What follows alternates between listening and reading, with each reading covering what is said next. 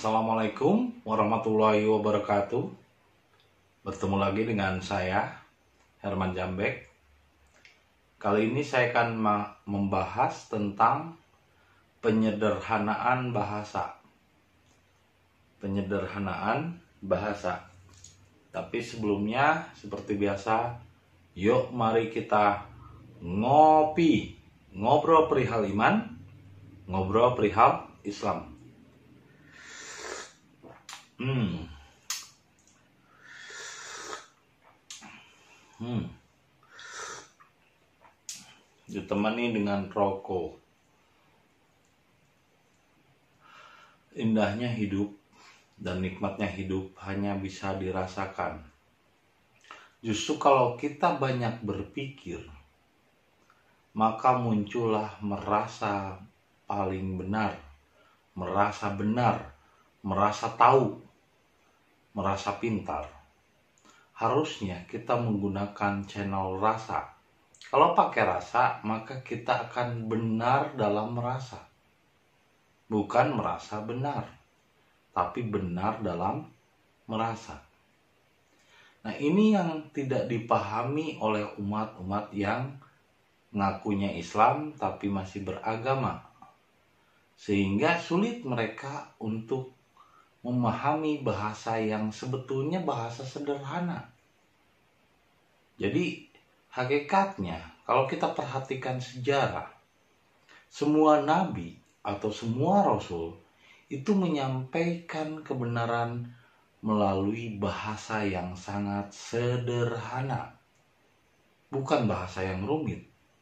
Justru para nabi itu datang untuk menyederhanakan bahasa memudahkan bahkan bagi orang awam sekalipun untuk memahami bagaimana caranya beribadah kepada Allah.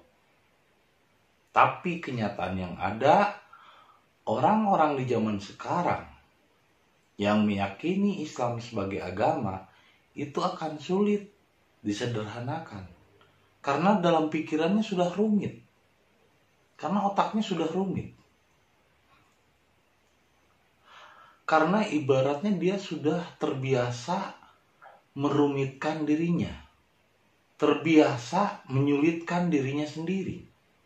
Padahal Allah itu menginginkan kemudahan.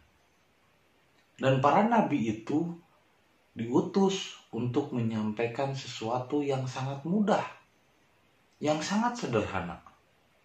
Tapi kenapa kita diperumit? Kenapa kita dipersulit? Oleh hal-hal dari yang lahir dari pikiran. Ini pikiran ini rumit, pengennya selalu yang rumit. Ibaratnya ini agama itu ibaratnya benang yang kusut. Islam itu kan artinya berserah diri kepada Allah. Berserah diri kepada Allah itu bukanlah agama, tapi jiwa. Inna dina indaullahil Islam artinya Sesungguhnya jiwa yang diterima kembali kepada Allah adalah berserah diri. Maka ini untuk semua manusia.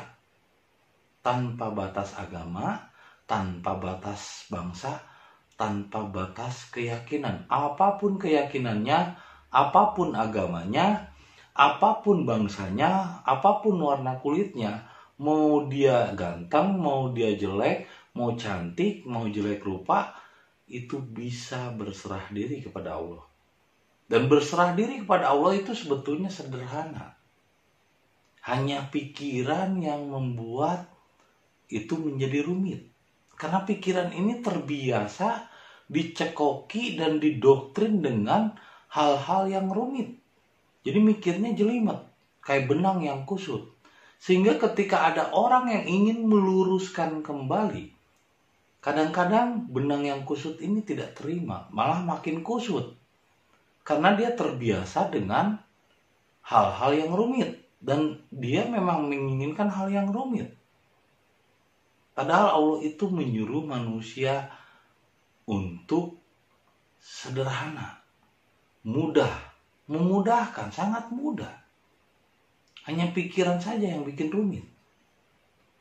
Seperti tentang kalau dikatakan Islam itu agama, dan saya menen, uh, istilahnya melanggar uh, hukum negara, maka harus diingatkan kembali bahwa Pancasila itu nomor satunya bukanlah keagamaan yang Maha Esa.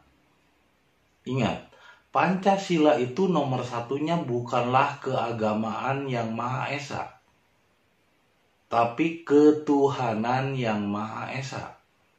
Artinya, kalau ketuhanan yang Maha Esa harusnya tidak ada tercantum agama di dalam KTP. Karena hanya di Indonesia yang tercantum agama. Di Amerika, di Inggris nggak ada. Di Australia nggak ada KTP itu tercantum agama. Karena jelas Pancasila pun nomor satunya itu bukan keagamaan yang Maha Esa. Tapi ketuhanan yang Maha Esa iman kepada Tuhan dapat menyatukan perbedaan agama. Iman kepada Allah dapat menyatukan perbedaan bangsa, perbedaan pemahaman, perbedaan keyakinan, perbedaan ide bisa bersatu dengan iman kepada Tuhan. Tapi justru agama membuat yang tadinya persamaan pun dibeda-bedakan Agama itu membeda-bedakan. Tapi iman itu justru menyatukan semua umat manusia, semua elemen, semua berbeda keyakinan saling menghargai, tidak saling mencela.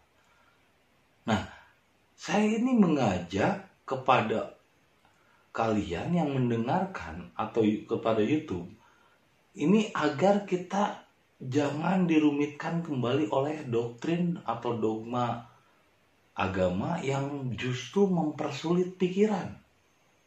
Nah kalau udah sulit dikasih yang sederhana malah just, jadi nggak nggak mudeng. Kenapa nggak mudeng? Karena dia terbiasa semeraut pikirannya. Ketika mau diluruskan malah bisa-bisa jadi kalau benang yang e, istilahnya kita masih ingat waktu kecil suka main layangan itu kan ada benangnya. Ketika benangnya kusut, kalau seandainya si benangnya itu tidak mau diluruskan, dia makan kusut. Tapi kalau seandainya dengan kesabaran, mendengarkan, kesabaran, memahami, jadi dipahami dulu sebelum menghakimi, maka insya Allah benang itu akan kembali lurus. Lurus artinya berarti sederhana, simple, mudah dicerna.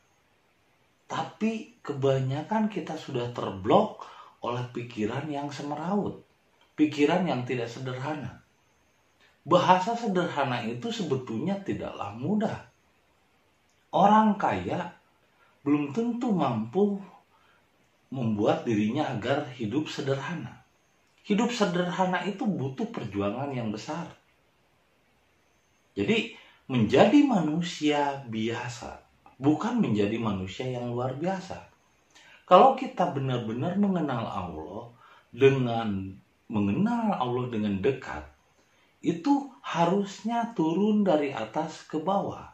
Dari ma'rifat, hakikat, tarekat, syariat. Barulah syariatnya benar. Karena harusnya dari ma'rifat dulu. Kan di ayatnya juga jelas. Awaludin ma'rifatullah awal mengenal din itu harus mengenal makrifat dulu. Awal mengenal din itu jiwa ya harus mengenal Allah dulu. Karena hanya jiwa yang terhubung dengan Allah. Seperti katanya, wah syariatnya sholat. Nah sholat itu memang syariat misalnya. Jalannya, pikiran. Tapi wajibnya sholat. Ini yang tidak dipahami. Orang hanya tahu sholat itu wajib tapi tidak dipahami wajibnya sholat. Wajibnya sholat itu adalah terhubung dengan Allah.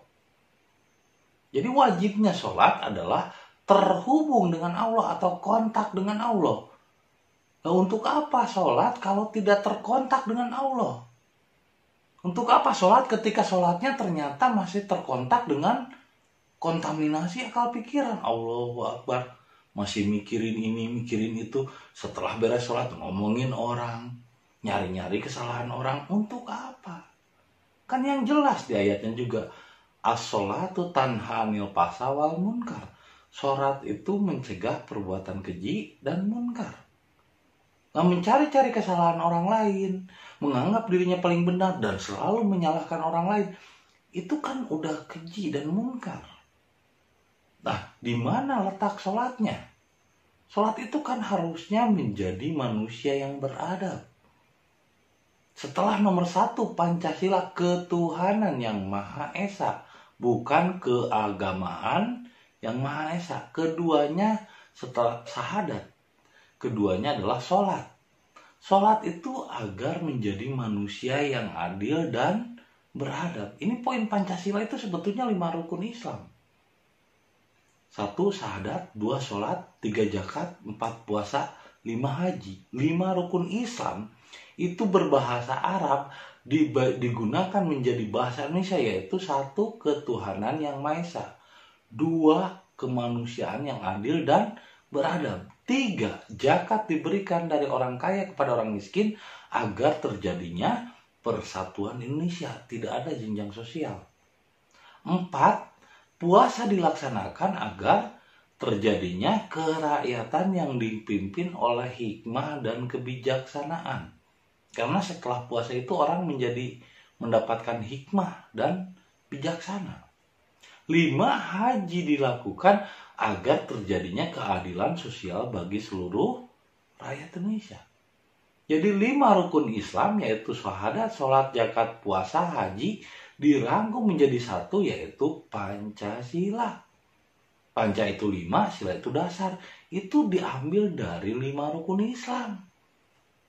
Jadi kalau ada orang yang berpikir untuk mengubah Pancasila, Pancasila itu udah Islam, bro. Bu, walaupun bukan khalifah Islam, tapi Pancasila itu udah negara yang Islami. Terus upaya apa lagi? Malah justru kalau dirubah menjadi khalifah, ini jangan-jangan nanti seperti Irak, seperti Suriah.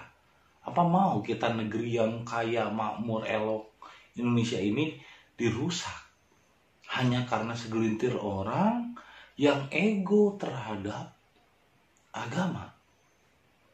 Padahal dalam Pancasila pun dalam negara Indonesia pun nomor satunya bukan ketu bukan keagamaan yang maha esa tapi ketuhanan yang maha esa. Jadi ingat Pancasila atau negara Indonesia itu dasarnya bukanlah keagamaan tapi ketuhanan bukan keagamaan. Jadi departemen agama mungkin lebih baik kalau diganti dengan departemen spiritual atau misalnya kerohanian. Karena yang mendapatkan siraman itu adalah siraman rohani. Tidak ada istilah siraman agama. Departemen ke, eh, kerohanian atau KUA, kantor urusan agama diubah menjadi kantor urusan syariat atau kantor urusan hukum. Syariat itu kan hukum, hukum-hukum, aturan-aturan yang dicerna oleh akal pikiran, itu syariat. Jadi syariat bukanlah agama. Ini masih banyak orang yang belum paham. Dianggap bahwa syariat itu agama. Syariat itu bukan agama. Syariat itu aturan-aturan. Syariat itu aturan-aturan keduniawian Nah, permasalahannya ini banyak orang yang salah kaprah bahwa dianggap syariat itu adalah agama syariat. Itu aturan keduniawian. Dari kata sirot sirot itu jalan. Sirotol mustaqim jalan yang lurus. Sirot. Jadi ini udah udah kusut nih benang yang kusut pengen diluruskan. Ini adalah sirotol mustaqim. Syariat. Apa yang saya ucapkan apa yang saya omongkan walaupun ini tentang marifat tapi ketika masih dalam ucapan ketika masih diucapkan ketika masih disampaikan ini tetap saja ini namanya syariat. Paling tidak ini syariat menuju hakikat. Ini bukan hakikat atau marifat hakikat dan marifat itu adalah pekerjaan amal perbuatan akhlak. Sedangkan kalau masih dalam ucapan, seperti misalnya rasa garam asin. Itu masih bohong. Kalau misalnya saya masih mengucapkan rasa garam amis karena tidak terlihat garamnya. Nah, kalau ketemu garamnya terus dimasukin ke lidah dan dirasakan oleh e, lidah dan mulut terasa asinnya itulah hakikat. Hakikat itu adalah praktek. Hakikat itu adalah amal perbuatan. Bukan teori. Ketika masih diteorikan seperti apa yang saya sampaikan saat ini, ini bukan hakikat. Ini adalah syariat. Tapi paling tidak ini syariat yang menunjuki ke arah hakikat dan makrifat. Tapi ini belum hakikat, ini belum makrifat. Apa yang saya sampaikan e, berpuluh-puluh video yang saya sampaikan ini masih baru 5 persennya. Belum sampai kepada hakikat dan makrifat yang sejati. Nah, untuk mengenali din dinul Islam itu awalnya harus dari makrifat dulu. Dari langit turun ke bumi, bahasanya pun membumi. Bahasa yang sederhana. Karena kan harusnya awaludin makrifatullah, makrifat turun ke hakikat, turun ke tarekat, turun ke syariat. Maka syariatnya kan benar. Kalau dari syariat naik ke ke hakikat atau makrifat itu akan sangat sulit paling tinggi di tarekat. Tidak akan naik lagi ke hakikat atau marifat. Karena memang kita ini makhluk cahaya yang diturunkan ke dunia untuk menjadi manusia. Nah kalau dalam agama, ini banyak manusia-manusia yang berfungsi sebagai Tuhan. Banyak manusia-manusia yang berperan sebagai general manager Allah. Loh kok Allah dimanajeri sama manusia? Karena apa? Karena terlalu melangit. Bahasanya dari bumi naik ke langit. Harusnya dari langit kita turun ke bumi untuk menjadi manusia biasa. Kalau manusia biasa hasilnya luar biasa. Tapi kalau manusia pengennya menjadi manusia yang luar biasa, hasilnya biasa saja. Nah, begitupun bahasa. Ketika bahasanya hebat, direka-reka uh pakai bahasa Arab begini. Wamakola wamakola begitu begini. Itu kan cuma minjem bahasa baru dongeng. Baru katanya bisa enak. Itu kan cuma minjem bahasa dari orang lain. Tidak menjadi dirinya sendiri. Itu terlalu melangit. Orang yang melangit hasilnya tidak ada apa-apanya. Tapi ketika membumi hasilnya luar biasa. Orang yang bahasanya terlalu tinggi hasilnya rendah. Tapi orang yang bahasanya sederhana justru hasilnya luar biasa. Hasilnya terasa, dirasakan. Karena tujuannya manusia itu bukan tujuannya Allah menciptakan manusia dan mengutus nabi-nabi itu bukan untuk mempersulit keadaan. Allah tidak pernah mempersulit manusia. Justru Allah memberikan kemudahan-kemudahan hanya saja manusia justru lebih memilih jalan yang sulit. Hanya saja manusia justru lebih memilih pikirannya yang semeraut. Pikirannya yang selalu menutup. Jadi yang kafir itu bukan orang lain, bukan Kristen, bukan Hindu, bukan hal-hal di luar Islam. Tapi yang disebut kafir itu adalah pikiran. Cover cover itu menutup. Menutup diri karena yang menutup rasa diri itu adalah pikiran. Ketika pikiran mendominasi maka muncullah merasa benar. Maka muncullah merasa pintar. Maka muncullah merasa tahu. Tapi ketika kita memunculkan rasa maka jadi bukan lagi merasa benar tapi benar dalam merasa jadi ketika merasakan asin, benar merasakan asinnya. Ketika merasakan gula itu manis, benar dalam merasakan manisnya gula. Bukan katanya. Walaupun itu cuma pakai ayat begini begitu, itu tetap saja masih dongeng. Kalau belum dirasakan dan dialami. Nah, maka saya menyampaikan bahasa-bahasa ini dengan bahasa yang sederhana. Contohnya, orang bilang kalau seandainya setelah mati kita akan ditanya oleh malaikat. Itu kan jadi ribet. Pikiran kita jadi seolah-olah membenarkan itu. Lah, kalau seandainya malaikat bertanya, "Man robuka?" Siapa rob kamu? Lah berarti kan kita tidak sesuai dengan ayat bahwa Allah memerintahkan iblis, jin, malaikat untuk sujud kepada Adam. Artinya, Adam itu manusia. Dan manusia itu lebih tinggi dari malaikat, iblis, dan jin. Lalu kenapa setelah meninggal masih ditanya? Nah berarti yang ditanya itu adalah orang yang sulit, orang yang jelimet pikirannya, orang yang sudah lupa siapa Tuhannya. Contohnya, ketika kita ke bandara, bawa segala macam, bawa lima koper, bawa ini, bawa itu, otomatis banyak pertanyaan dari pihak keamanan bandara. Karena kita banyak barang yang dibawa. Tapi kalau kita tidak membawa apa-apa, maka pasti ketika masuk ke bandara kita tidak akan ditanya. Nah, ditanya oleh malaikat itu karena terlalu banyak barang yang dibawanya. Kita dilahirkan ke dunia ini dalam keadaan suci dan fitrah, tidak membawa apa-apa, tidak membawa agama, tidak membawa keyakinan, tidak membawa pemahaman. Murni. Dengan apa bekalnya? Dengan rasa. Tiba-tiba setelah besar, pikiran mendominasi, muncullah iri, muncullah dengki, muncullah merasa benar, muncullah merasa pintar, muncullah merasa tahu. Nah, setelah mati kita mau bawa itu. Lah, Allah nanti melihat, dulu aku lahirkan dalam keadaan suci, tidak membawa apa-apa. Tapi kenapa setelah mati membawa macam-macam, membawa dengki, membawa iri, perbedaan agama marah, beda keyakinan mencaci maki. Lah, Allah itu dulu ketika melahirkan manusia kan tidak bawa apa-apa. Tidak bawa kedengkian, tidak bawa kebencian dengan perbedaan.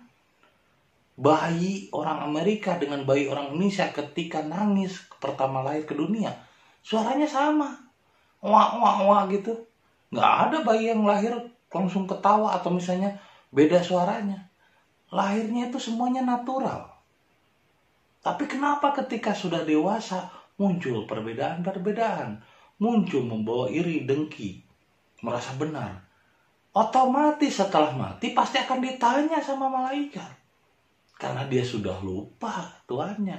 Tapi kalau hidup kita berserta dengan Tuhan hidup kita bismillah beserta meliputi Tuhan atau manunggal atau gumulung dengan Allah ya otomatis sifatnya akan ar-Rahman ar-Rahim. Bismillah itu artinya adalah beserta samia dengan Allah kalau hidup kita beserta Allah otomatis tidak akan ditanya setelah matinya malah justru malaikat akan sujud kepada manusia karena dulu juga malaikat iblis setan jin diperintah untuk sujud kepada Adam. Ini kok tiba-tiba ada kata-kata, oh nanti ditanya sama malaikat. Manrobuka. Ini kata-kata dari siapa? Ini bikin pikiran jadi jelimet.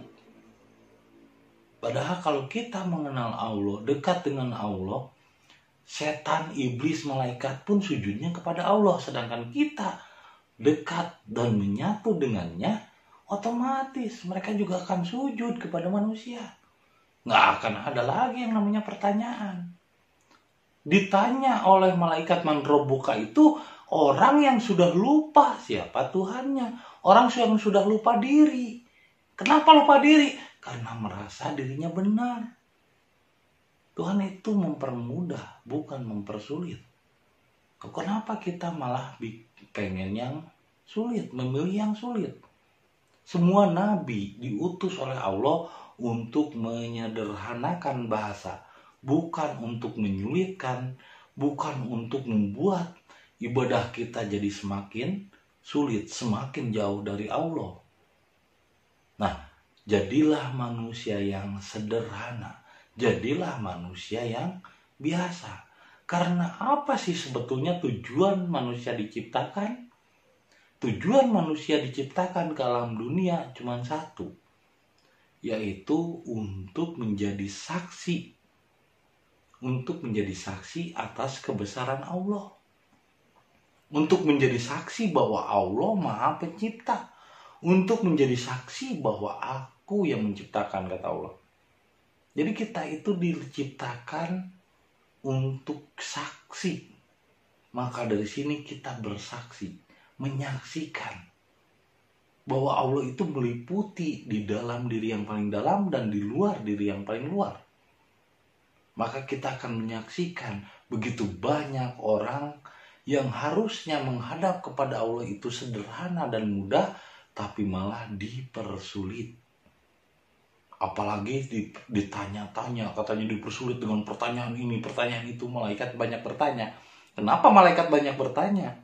karena banyak barang yang banyak sesuatu yang kita bawa ketika mati bawa dengki bawa iri bawa merasa benar bawa merasa pintar bawa membawa merasa tahu padahal ketika dilahirkan bayi itu suci tidak membawa apa-apa jadi kembalilah menjadi manusia yang sejati jadilah manusia biasa Terima kasih. Semoga videonya bermanfaat dan menjadi hidayah bagi kita semua. Assalamualaikum warahmatullahi wabarakatuh.